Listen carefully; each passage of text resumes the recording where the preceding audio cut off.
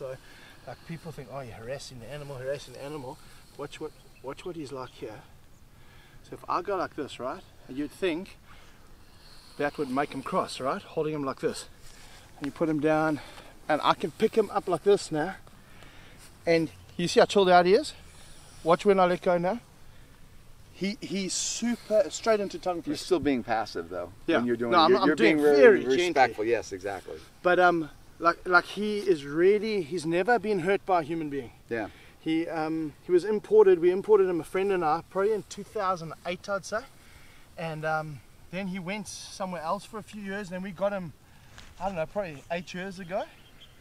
And uh, he's never been threatened by a person. He's never been hurt by a person. And he seems smart enough to figure out like you're actually not a threat to me. So even if I come in front of him, I'm not going to hurt him. He'll just go straight through your legs or something. Yep. So because he's not scared of us, he's like,